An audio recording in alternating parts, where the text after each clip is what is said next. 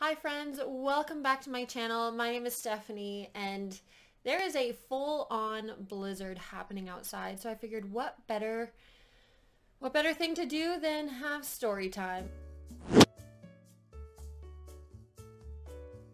And now I need to pull up my phone because now things start to get interesting. So this would have been just over a year after we talked to, or I talked to the catfish producer. Okay, so last March, this is when I'm gonna bring in some conversations because I don't have them from years ago, but I have them from last year. Our conversations were pretty chill. It's like, I just got home. I'm sorry you were having a day. Drove most of mine. Had a thing tonight. Hope you're okay. I said, no worries. I know you've got a lot going on. Glad you're home safe. And then he's like, I had to come home this weekend to do lawyer stuff. Drove four hours. Then another two to take a girl to a concert. Also bought tickets for Sam. It was quite a trip, blah, blah, blah. So he went to a concert with his friends and, and whatever. This was like normal conversation. So I'm like asking about the girl, asking if his friend enjoyed the show. And so we're just, we're basically just like gossiping about this chick he was seeing and all this kind of stuff. We talk about food often. We talked about food quite a lot. Okay, so just imagine we were having a, a normal conversation about going to the eye doctor because of headaches and then he said you had to drive home and I asked why and he didn't answer. After that, I sent I waited a couple days because obviously when I was driving home dealing with some stuff and then I I was getting I remember distinctly I was getting ready for work one day and I was like any chance you have time for a FaceTime I know that this guy's not going to FaceTime me. He would, he never FaceTime me. That was never an option. Um, but every once in a while I would ask just to see. And so I was like, well, I'm getting ready for work and just want to say, hey, what's going on? So I was like, any chance you have a minute for a FaceTime? No, I'm out dealing with shit with my buddy. And I just said, okay. I never hear shit from you anymore. Okay mimic, like mocking the fact that all I said was okay. And I said, well, I don't hear from you either. And he said, the only time you text me is to be on some other shit. I'm assuming he meant to FaceTime or when I'm like on Twitch because sometimes I'd let him know I was getting on Twitch. And he said, I have too much going on right now to stress anything with you. You never pop up just to be like, how are you? And I was thinking that's exactly what I was doing today. I just wanted to FaceTime to be like, hey, what's going on? But whatever. Uh, and I just said I'm not about to play, play a blame game. Literally just wanted to FaceTime and say hi while I was getting ready for work.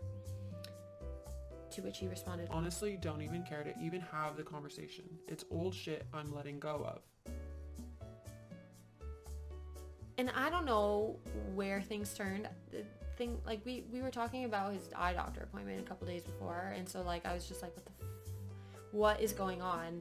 And I was like, I am? Like, I'm old shit you're getting rid of? And he's like, We never talk just to have the conversation. You realize that. And I'm like, literally just the other day we were talking about you going to the eye doctors. I'm like, that's just talking to have a conversation, no? And I was just like, so just like blown away. And I guess he had some, a traumatic experience that he had dealt with. Um, and so he was dealing with that, which I totally didn't know. So I apologize because I didn't know. To which I said, I didn't know you were dealing with that. You also never said anything. It is a two-way street. I miss our friendship, that's all. Because we hadn't talked as much recently. That's, uh, that's all. You're the one that's distanced yourself. I'm not dumb and I'm not messaging you to argue either. When you cool down and realize that I just want to chat and don't and won't chase after you when you're busy, then let me know. I honestly have no idea where this all came from when all I said was okay. And then after that, I never got an answer via text. So that was the last conversation we had. I tried sending a couple messages after that and then they stopped getting delivered so I clearly got blocked for no reason. Um, I I have no idea why this traumatic event had him just decide that I was the person that he needed to cut out of his life because I feel like I was there at any point in time if he needed to talk, if I needed to talk. Like I would listen to him when he was dealing with stuff and vice versa. So it was one of those things that like the switch just flipped and it didn't make sense to me. But I left it. I ended up leaving it for quite a while and I for the most part accepted the fact that this person just decided that I they didn't want to be my friend anymore. I didn't understand it, but I just I don't know. It, I still don't I still don't get it. And then a couple months ago, this would have been actually I have screenshots. A couple months ago, I decided to log on to Twitch because I had remembered him talking about a couple of the other streams that he watched while he was on Twitch. I was curious because I don't like having unanswered questions. I don't like it at all. And so I decided to do a little bit of research. And I, I went back and I found one of the streamers he had talked about. She had a stream similar to mine. She was a musician and I'm not going to put out names because I don't want necessarily people to get super... I, I'm not trying to call people out. I'm just trying to share my story. Uh, she's a streamer, super, super talented. Um, musician, singer. So I went into her stream and I was super curious because obviously he cut things off with me. And I just wanted to know if he was still on Twitch because I had logged on a couple times, but I'm pretty sure that he had blocked me because I tried reaching out via a couple of the other ways that I could contact him um, after my texts weren't going through and none of them were going through. I don't have him on very many social media platforms because he doesn't exist on most social media platforms. surprise, surprise. But I, I had him on Twitch and, and I thought maybe if he's still using it, I could get at him there. But I couldn't. So I checked out her page. And when I looked at one of her old streams, because when you watch um, an old stream, sometimes you can see the chat. And I noticed that he was chatting in it. And I was like, okay, so you are still around. Like, just because you've cut me out of your life, obviously you're, you're still doing your thing. And when he logged onto her chat room, she answered, Hey, baby. And it triggered me a little bit because I had a weird flashback of when I used to stream on Blog TV and I would get all smiley when he would log in and say hey because I'm like oh he's watching blah, blah, and I was like oh my god. In my mind I feel like he's starting over with somebody different. And it just like I had a, it blew my mind a little bit because cut me off once and for all and is starting over with somebody else. And like that's fine. If like I obviously I'm like fine or someone that you want to build a relationship with. We him and I had talked about this all the time and like he deserves someone great. But I just didn't want him to do the same thing to another girl that he did to me talk to them online for years and years and years only give them so much information, but get to know them enough so that like you get attached and then never actually give anything back. And so that was kind of what was going in my mind and I was like, I need to talk to this girl. So I tried reaching out on, I tried sending her a message on Twitch. It wasn't going through and I was like, oh shit, she has me blocked. And then I tried sending a message on Instagram and I sent a friend request because I was like, if I'm not her friend, she's not going to see it. But my friend request got deleted and then I didn't get an answer. So I was like, well, maybe she has me blocked on Instagram too. And then I also ended up after that, I sent the same message on Facebook. Found her. I was like, I just need to somehow get across to this girl and like, I don't know, share my story and just, I, I, I didn't really know, but having no answers on my end, I feel like that definitely drove me um, to try and reach out. So I will read the message I sent her. Hey girl, I'm reaching out uh, because you're the only IRL person I've come across that has any connection to my catfish person. And I included his username just for some reason in case you didn't know who I was talking about. But they seemed chummy, so I figured you would know. Um, I'm not trying to cause drama. All I'm looking for is some sort of truth or maybe closure for something that's probably the biggest question mark in my life to date. This person and I met on a site basically exactly like Twitch called Blog TV 10 years ago, August 2008. I was streaming. He caught my attention. He does that, lol. It quickly turned into some sort of long distance online romance. Nothing official because I'm in Canada, he was home in South Carolina, but we had plans to be together at some point. In some ways, I guess you could say he was my first love. I spent the better part of my university career talking to him, texting, MSN Messenger, countless one-sided video calls because he would never use video back. We even had a handful of times where we had planned to meet up because his parents had a house in Toronto apparently, but for whatever reason, it never worked out. We lost touch after I graduated because I pursued real-life relationships, and I decided to make that a priority over the relationship him and I had. It never really progressed to a healthy or realistic place after the first few, few years anyways. I ended up reaching back out to him after my ex and I broke up because I genuinely missed the friendship we had, and I was curious how he had been. Shortly after that, my now boyfriend and I met, but Catfish and I continued to be friends. He was my best friend. The bond we had initially just grew more with time as friends. If you watch Grey's Anatomy, he was a yang to my Grey. LOL. There have always been red flags for me though. I value his friendship and support more than he'll probably ever understand, but he showed all the telltale signs of a catfish.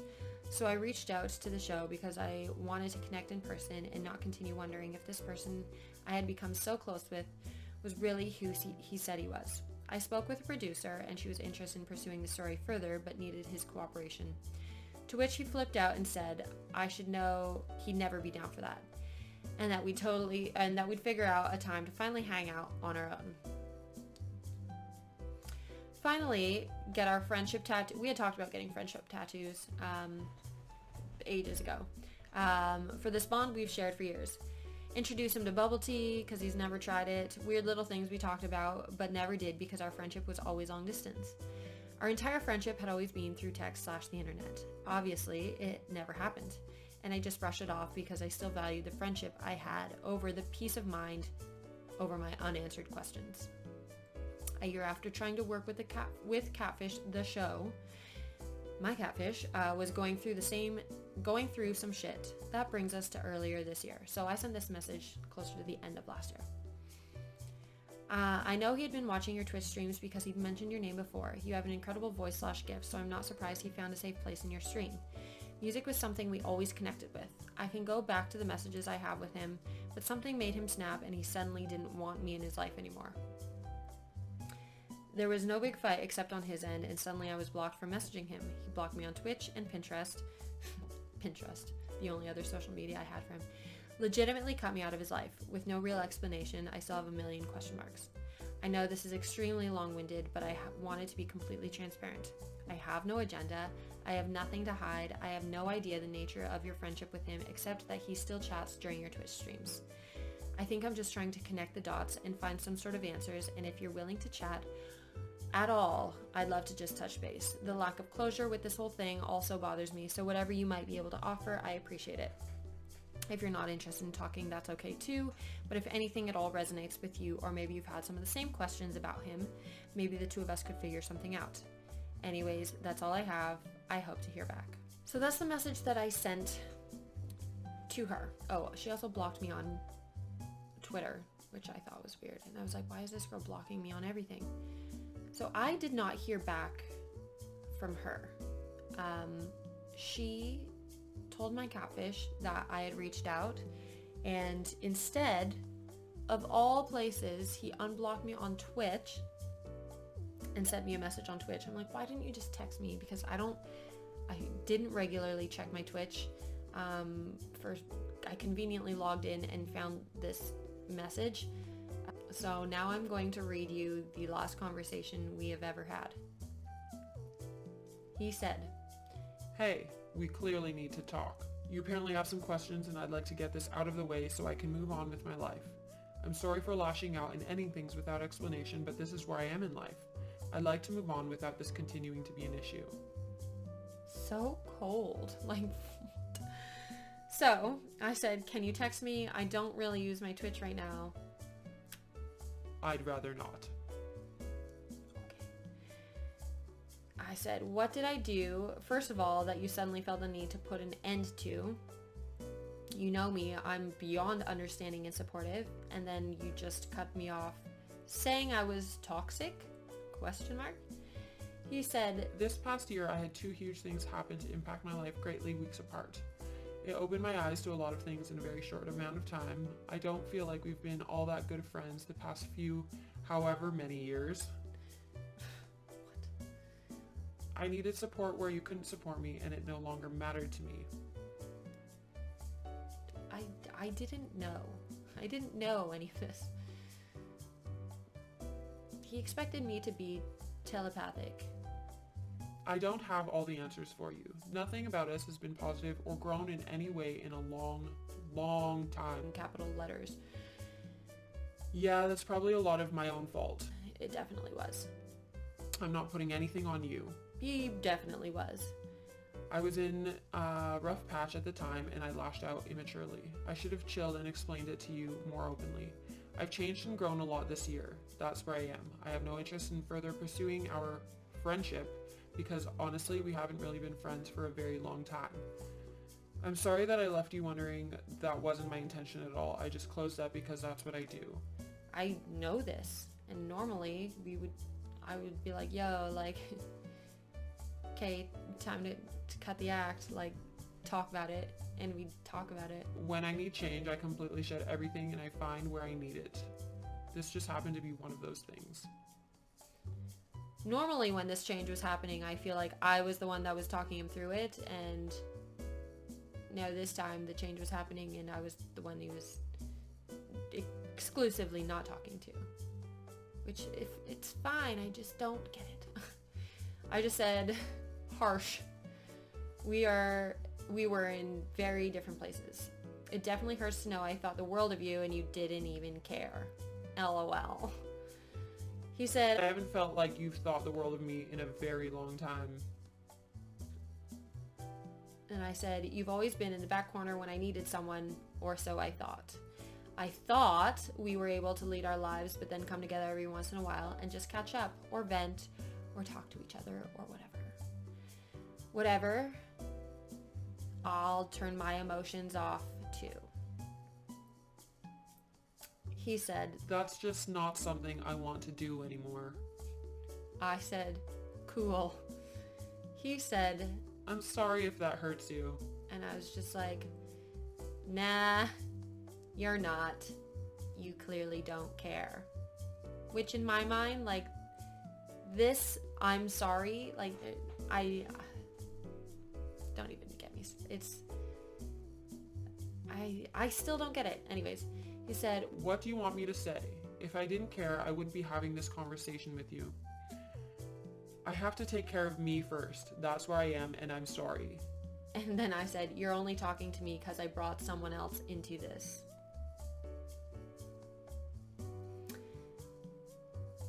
Not because you care. The way you spoke to me the last few times is not you caring. If you're going to cut me out of your life, you may as well be completely honest too. You're not who you say you truly are, are you? I was like, at this point, I'm like, I don't care anymore. I'm not going to try and like dance around someone's feelings. He said, Asking you to please leave me alone? Oh, and I said, no, I want truth and closure. I called Catfish way back for a reason. You're a virtual ghost and your number matches to names that have nothing to do with you. I've done my research. I've also done reverse image search, to which turned up nothing. But the phone numbers, those have me asking questions. Uh, and then he said, As far as this other girl goes, I don't feel like anyone I have around deserves to be harassed about that shit. About shit that doesn't involve her. Uh, I hoped this could go a little smoother and less aggressive than it is. I'm sorry that you're angry. and I was like, aggressive? I'm like, no, I'm just, I'm just being blunt at this point. Said I wasn't harassing her, but I needed to get through to someone. My message was very nice. Uh, and then he said, I'm sorry that I've hurt you. and I said, just tell me the truth. And he said, I'm sorry that things are the way they are. I can't change that. I said, tell me the truth. He said, What truth? I just said, tell me the truth. Why won't you FaceTime? Why did you conven- Why did we conveniently never meet when we initially planned?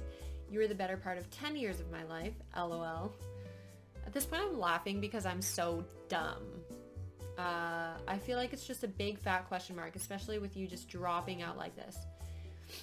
He said, We learn and grow every day. It might not be the right growth, but it is what it is. At some point, we both have to part ways and move on with our lives.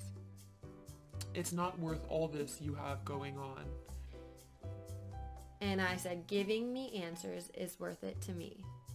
He said, I didn't realize it was such a big thing to you before talking to her, and I'm sorry I left it like that. this whole time, literally dancing around everything that I'm saying. I said, you didn't realize because you didn't care. I clearly cared way too much. And then he said, when things were gravy and we caught up regularly, you didn't seem to care.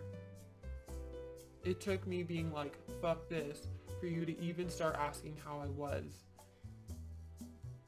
and I said, we remember things very differently. To which he replied, Well, I'm sorry for that. and I said, you're still avoiding my questions. He said, What questions? About who I am, or my number being tied to wherever, or the FaceTime thing, or what? And I said, all that. And I spit out some names that the phone number was attached to.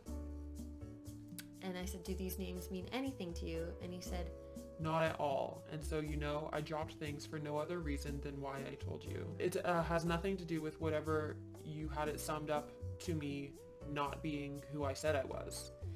and I said, sure.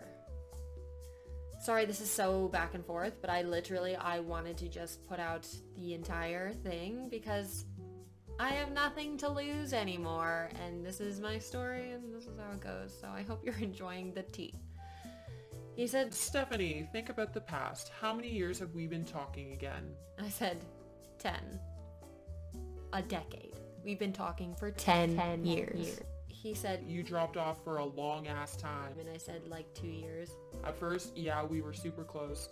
Went to each other with our shit and it was great. But let's say the past few years, I can't pinpoint a handful of times we were close. I'm not blaming you for that. Life happens. You gotta do what you've gotta do. And I was like, pretty sure like two years ago you were crying to me every day about like a girl and like you've been crying about her ever since. he said, I cry about everything. he was like, LOL, I'm aware. And at this point I kind of gave up. I'm like, I'm not, I, yeah, I, I said whatever, it is what it is. Using his own words because clearly I wasn't getting answers. And he said, I'm an idiot, okay? Doesn't mean I never cared. What? Trying to say you care? I I I don't know. Rereading this, I'm like, I don't get it. I don't get it at all. okay, I said, I'm sorry life sucked so hard for you. I really am. I'm awful at keeping up with people, but it doesn't mean I never care. All my friends know I'm not very good at keeping in touch. Even my family I'm not very good at keeping in touch with. I said I barely talk to my own family. He said, Like I said, life happens and I'm sorry that it played out the way it did. I never intended to hurt you. My brain just flipped and I needed to escape everything, so I did. and I just said, okay, I'll leave you alone. Apologize to the girl because obviously I did. I wasn't. I have nothing against the girl. She's very talented. She seems very nice. I said apologize. I wasn't trying to harass her. I just didn't understand why you'd get her to block me on social media as well, uh, which we talked about for a bit.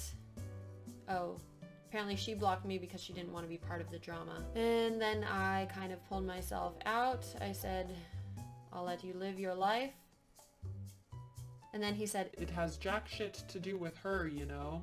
like, I don't care. I, that's fine. I don't, like, I'm not coming to this as a jealous girlfriend. I'm coming to this as a, a friend who, like, if you had a friend for 10 years who just kind of, like, was like, mm, I just decided no, and then, like, blocked you on things, pretty sure you would feel the same way. And that's how I felt. And then he said, So that's it? That's the big conversation you've been harassing me for? I said, sure. I guess I'll just let it be. You left for a reason. I hope life treats you well. This is my I give up. Okay then, and I hope the same for you. I said, thanks. You said, Later, Steph.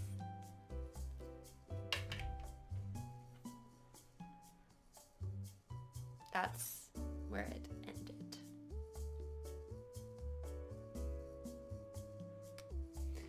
So, I clearly don't have answers. It has been over 10 years since I started talking to this person. This conversation we had November 16th, 2018.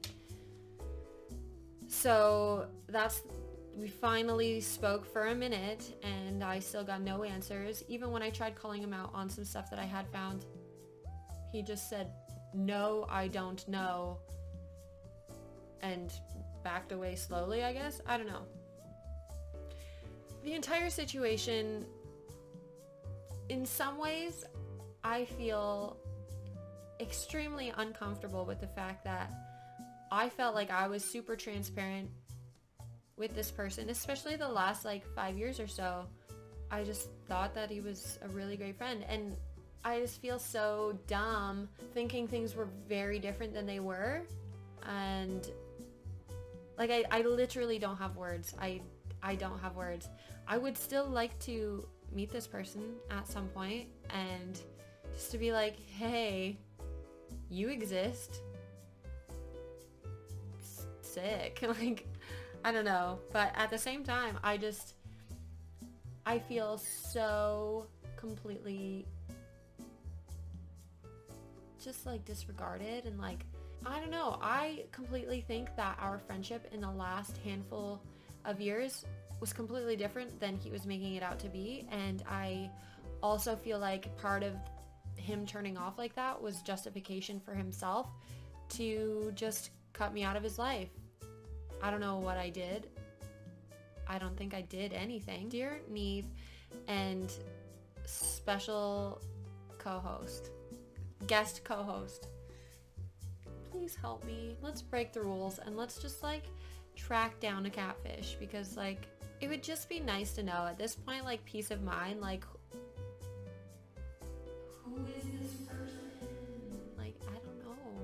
I'm hopeful at some point that at some point in my life, something will happen and I will get some sort of answer. Or maybe this other girl will be like, yo, like, I actually, I don't know, maybe she'll reach back out to me and we'll have a conversation about the fact that this person is very much not who they say they are. Or I'll be surprised one day and we'll figure out that this person is exactly who they say they are. And they just don't want someone that's as cool as me to be their friend. I, I think that's the end of story time. There is there is no end. If I ever do get answers, I'll make sure that I make some sort of conclusion video. But it's been 10 plus years. The catfish producer warned me that I things wouldn't change if things didn't happen then, and she was right. Thumbs up if you are very dissatisfied with the ending of that story. Um, but thank you if you have survived up until now um, and you are still with me, you haven't fallen asleep. Make sure you scroll down, hit that subscribe button, guys. Thank you so much for watching. Thank you for hanging out. If you like these storytime videos, I mean, I don't have any other ones that are nearly as juicy as this, but if you'd like storytime videos, please let me know and I'll try and think of other things I can share with you. But I think that's it. That is all. I'm gonna go relax. I'm like worked up after telling that story. I don't get it. If you get it, please help me figure it out in the comments below. Actually, also, I want, can you please just let me know your point of view down below? Because like, the more outside views I get, that would be great. Or you think I'm just a crazy lady. But I like to think I'm pretty friggin' level-headed. There's no answer. There's no official answer and no ending to this, so